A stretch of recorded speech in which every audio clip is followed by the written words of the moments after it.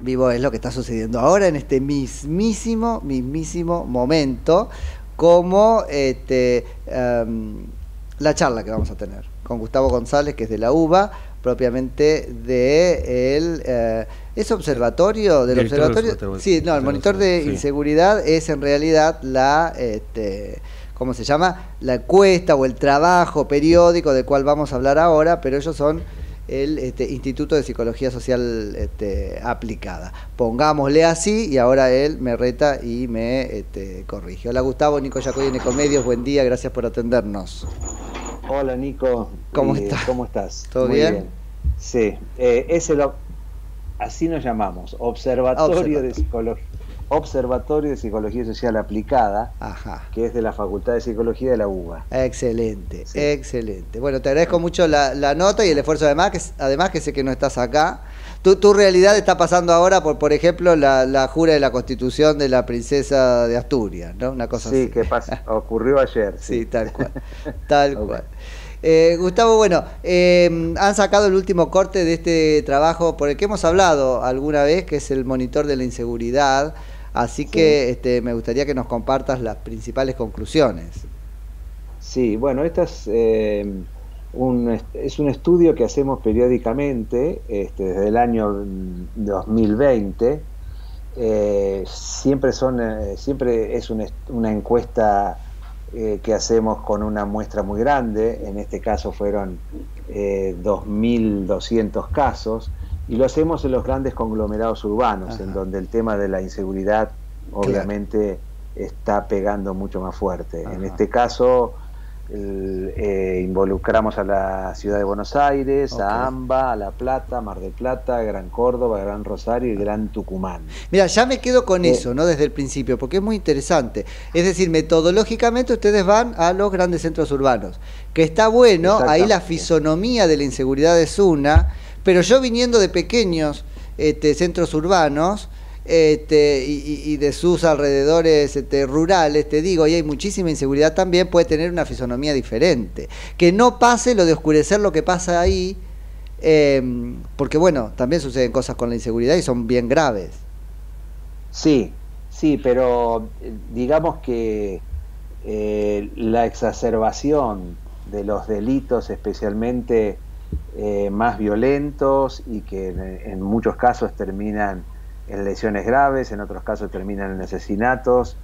Eh, esto que está ocurriendo, que te matan por un celular o te matan por un par de zapatillas, esto es más típico de eh, los grandes centros urbanos y especialmente del conurbano. Ajá, entonces, bueno, obviamente nosotros apuntamos a esos grandes centros que, que si juntamos eh, si hacemos un, eh, una integración poblacional, estamos en, un, en una población que supera mm, eh, largamente el 60% de la población de Argentina. Esto, Sí, sí, este no, yo porque le tengo terror al derrame. Lo que uno ve es que más focalizamos a los centros urbanos y más la política de lucha contra la inseguridad se focaliza en lo mismo. Bueno, más la inseguridad pasa al campo de una manera, este, bueno, propia o como no la vemos, ¿no? Pero sucede. Sí, sí, por supuesto, sí, en eso, eh, eh, estamos de acuerdo en ese punto. Bueno, este, este informe siempre comienza con eh, problemas de actualidad, sí. por la actualidad en cada caso, digamos, fechada al momento del informe, en este caso fue octubre de este año, eh, y comenzamos con la percepción de los principales problemas del país. Y acá vemos eh, que fundamentalmente esta, eh, mm, esta percepción de problemas de parte del ciudadano se lo podríamos categorizar en dos grandes ejes. Por un lado, un eje socioeconómico, y ahí está dado por la inflación, la economía, la crisis económica, la pobreza, la desigualdad, y la inseguridad. Y después hay otro eje, que es el eje político, porque uno de los grandes problemas a los que, eh, que sale con una enorme frecuencia, sobre todo cuando vamos a la pregunta abierta y finalmente formamos una nube de palabras, es la corrupción y, y la casta de los políticos. Digamos que los tres eh, si, vemos la nube de palabras con esto de la percepción de los grandes problemas, los tres grandes problemas serían la inflación, la corrupción y la economía. Y lo que es interesante, sobre todo en, esta, en, este momento en donde estamos próximos a un balotaje, acá nosotros lo cruzamos a, esta percepción de problemas, la cruzamos por los votantes de Unión por la Patria y los votantes de la oposición, Juntos, de Juntos y de la Libertad Avanza. Y nos da nube. Sí, la y, Es interesante, y, es, interesante sobre todo para entender los hechos que ocurrieron en las eh, elecciones generales de octubre. Eh, para los votantes de Unión por la Patria, sí la inflación, al igual que para los votantes de la oposición, es un problema que está eh, en, el top ten, digamos, está ahí como principal problema y atraviesa la sociedad, la, inflación y la economía. Pero, si vamos al tema de la corrupción, la corrupción no aparece como una principal problemática en Unión por la Patria. Ahora, ¿alcanza como variable? Y esto, y esto, eh, termino este concepto, y esto explicaría qué es lo que ocurrió cuando eh, eh, escándalos como el de Insaurralde, como el de eh, Chocolate Rigó, no han penetrado en la población votante de Unión por la Patria. Parecería que a los votantes no, eso... de Unión por la Patria no les interesa tanto el tema o no creen que eso está claro, me parece que eso, eso estaba claro, un poco lo sabíamos. Por ahí lo que explica, y yo no sé si acá hay este, semejante pericia en parte de los equipos de campaña, ¿no? Bueno, trabajan hábilmente con lo dado, ¿no? Puesto que les explotó, por ejemplo, el, caso del yate de Insaurralde, uno podría pensar, eh, no hicieron nada por apagar ese incendio, porque en cualquier caso, la corrupción, como bien decís, no aparece en su nube, pero la inflación sí. Así que mejor hablemos del yate de Insaurralde, que total no, me, no, hiere mi base de, de votantes, antes que hablar de la inflación. Que eso sí no lo entiendo porque todo bien con la corrupción. Ahora, inflación debiera estar también ubicada en el lado de los votantes de Juntos por el Cambio y no en el lado de los votantes de Unión por la Patria. Este candidato es el este, ministro de esta economía. ¿Qué, pasó ahí? Bueno, pero ahí lo que pasó es que eh, fueron muchos los factores a mi juicio, pero, principal, pero principalmente es que mm, su candidato, el candidato de la Unión por la Patria, Sergio Massa, fue tremendamente hábil y, logró el objetivo en cuanto a lo que se denomina en todo el mundo, dentro de, la teoría política, eh, las campañas eh, por el miedo, las campañas por eh, tratar de destruir al contrincante en función de meterle miedo a la población. Entonces, ¿qué? ¿Qué ocurre? Algo muy eh, paradójico. El principal generador de inflación ha sido este gobierno y especialmente toda la gestión de masa. Sin embargo, Massa amenaza que en el caso de que no lo voten a él, va a haber muchísima más inflación. Y, lo, y, lo pone, y lo pone en términos muy concretos. Bueno, el boleto hoy te vale 50 pesos y gana Milei o gana eh, Bullrich, decía, va a valer 1.100 pesos. Cosa que además ni Bullrich ni Milley habían dicho nunca. No, tal cual. Massa es eh, un gran refutador de hechos y de dichos que no existen.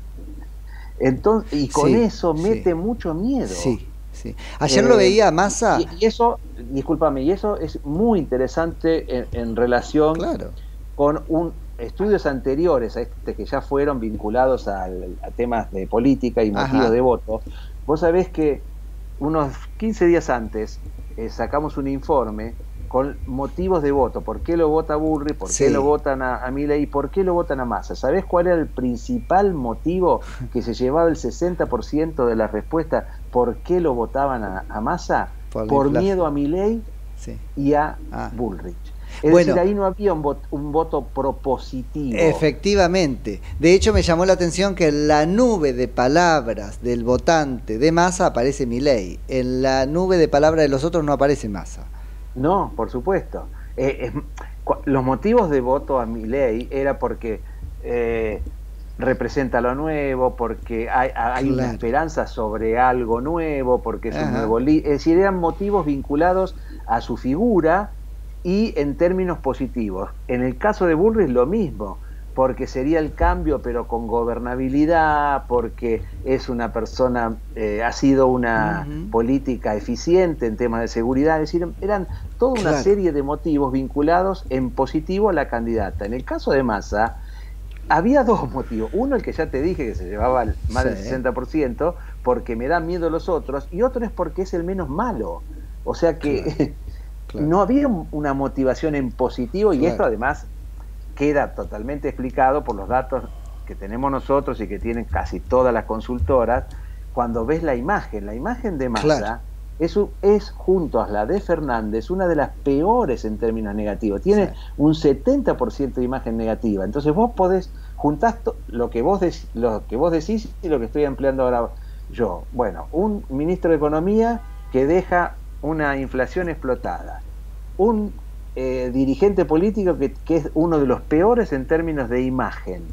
Y sin embargo terminó ganando. Y entonces, ¿cómo lo explica? Y lo explicás por, la, por el éxito que tuvo en meterle miedo a la gente. Claro, el otro es peor que yo, en eso consistió. Y pareciera que mi ley eh, no está logrando hacer lo mismo. Eh, cuando sobre todo me parece que eh, tal cosa, tal dinámica es importante en una segunda vuelta, porque se vota menos por el amor que por el espanto en una segunda vuelta, ¿no?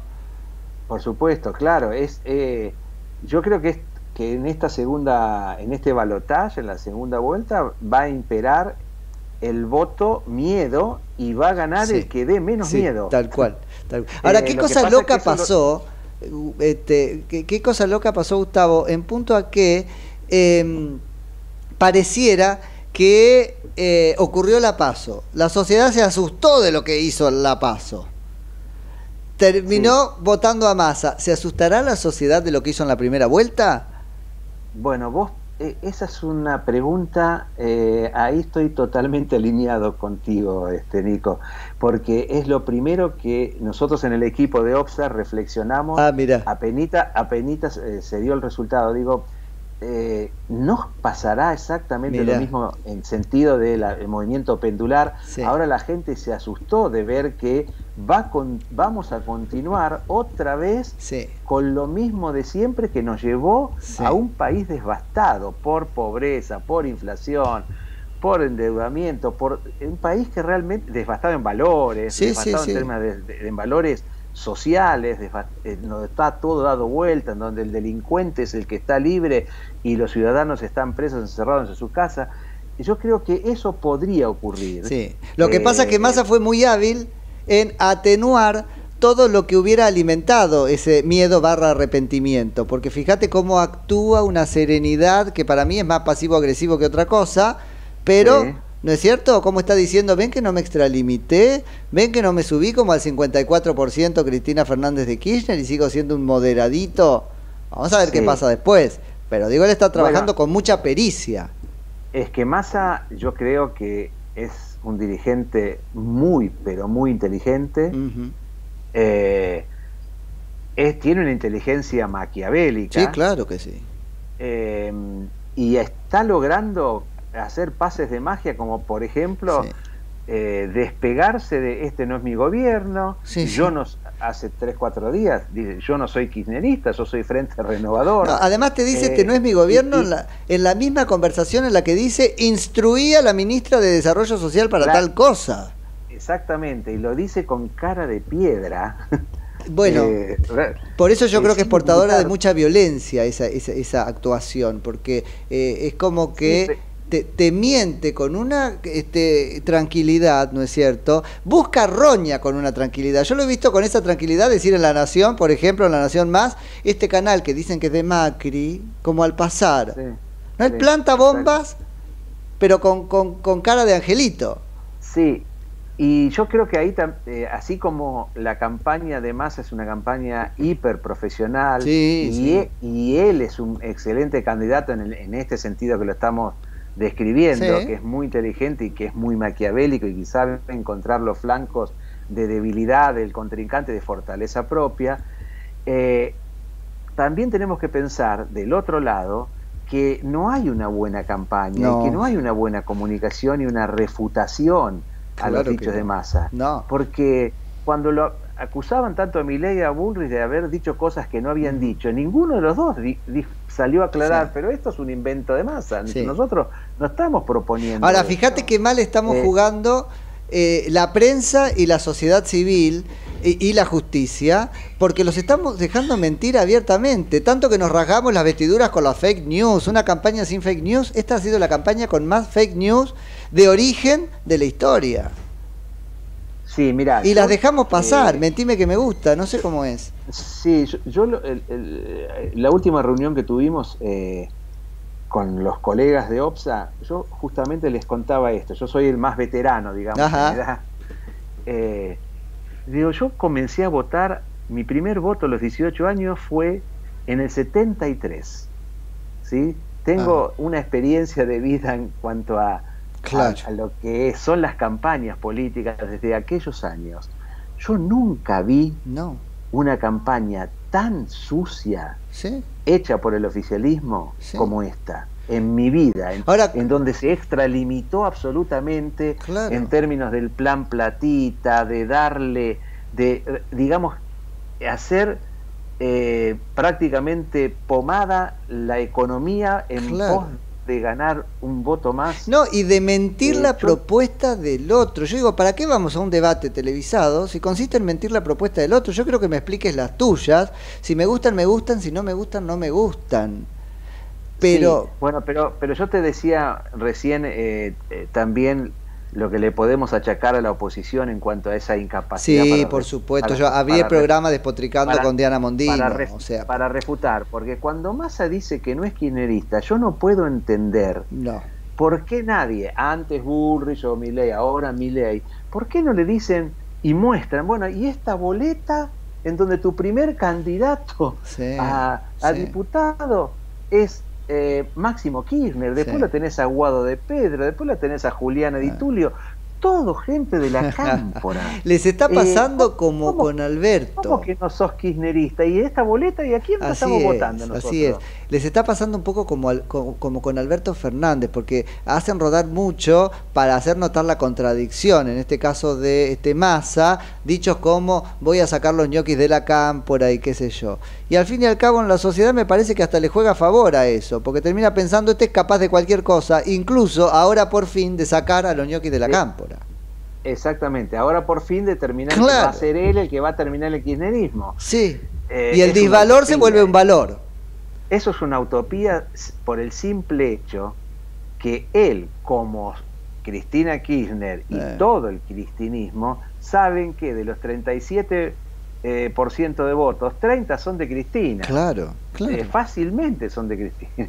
Sí, sí, Entonces no, no va a poder hacer eso. No, no. Y bueno, creo que eh, vienen tiempos de mucha incertidumbre. Sí, seguro. Eh, realmente todas las encuestas eh, son en este, desde las PASO, nos cuesta mucho a todos los encuestadores. Sí, yo sé. cuando hacemos encuestas políticas, no de intención de voto, no como esta que es otra cosa del monitor de seguridad, mm. nos cuesta mucho llegar a un número que, nosotros mismos consideremos eh, válido. Viable, tal cual, confiable. por qué? Porque nunca hubo tanta em, no respuesta, tanta tasa de no respuesta. Eso. Y mm, compatible esa tasa de no respuesta con que después la gente no va a votar. Entonces, hay todo un segmento de la sociedad que está fuera del radar sí. Eh, de, los encuestadores. Y eso incluso me da pena cuando los medios critican tanto a, nuestra labor, o sea, yo vengo de la investigación científica, ¿no? Este, hago investigaciones académicas, además de política, y, la herramienta de la encuesta es muy valiosa. Pero sí, este sí, es muy valiosa, pero yo creo igual que este hay que cada vez más complementarla con otras cosas, tipo el Big Data, digo, las huellas que dejamos sin darnos cuenta que estamos dejando esa huella, porque esto de la pregunta... porque para este caso nos resulta muy difícil llegar a la estimación cercana a lo que va a ocurrir, porque ese 30%, por ejemplo, que no votó, en las PASO estaban fuera del radar. Y entonces, obviamente, si alguien no tiene el compromiso cívico y, piensa no ir a votar, menos va a contestar una encuesta por de eso, Por eso, Si ya no voy a votar, menos voy a contestar una encuesta Pero de votos. Totalmente.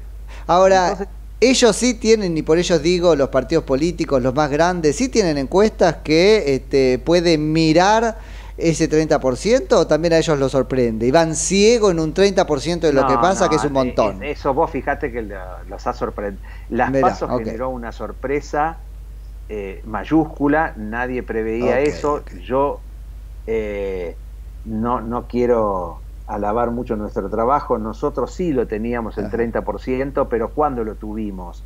Lo tuvimos en las últimas 48 horas cuando ya no se podía publicar. Claro, eh, Porque, porque además hay otra cosa, que los datos más fidedignos son los que se recogen en las últimas 48 horas previa a la elección, porque acá hay dos fenómenos. Uno que es universal, que no tiene que ver con este momento de Argentina y, la desesperanza que tiene la Argentina en términos de, eh, su dirigencia política, entonces por eso no va a votar. Hay uno un, tema que es universal, que viene justamente de, décadas, que la gente decide su voto en las últimas 48 horas. Cosa rarísima, tal cual, incluso en el cuarto oscuro leía un 8 o 9%, pese una locura, pero pasa. Exactamente, entonces si sumas que la gente lo decide muy al final y que encima hay un, un enorme segmento que ni siquiera va a votar, fíjate vos la dificultad para predecir finalmente. Sí, no, completamente. Ahora, nosotros sí teníamos, en esas últimas 48 horas, tuvimos que mi ley ganaba, llegaba al 30 mm. y, y, nos dio muy exacto. Bueno, eso en algunos medios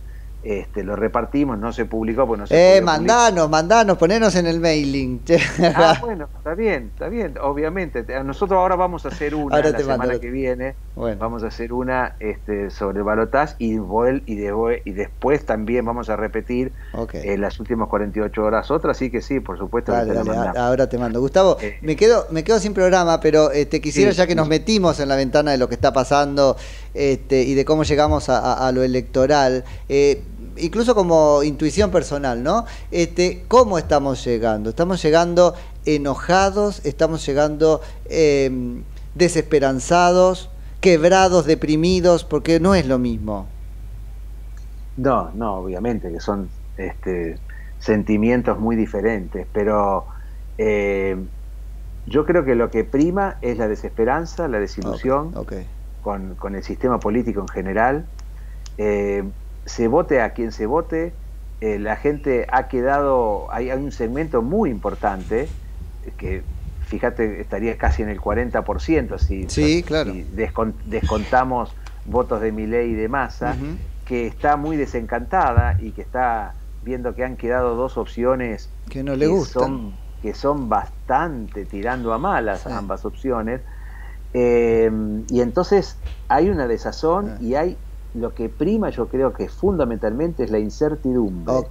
La incertidumbre respecto de gane quien gane de estas dos opciones malas, qué no se puede estar pasando en el 2024. Pero igualmente a mí me, interpela muchísimo que el criterio de realidad no nos esté, esté, ayudando. A ver, porque es cierto, uno pareciera una, una promesa, una bolsa de posibilidades, no sabemos qué puede ser, pero el otro lo conocemos mucho.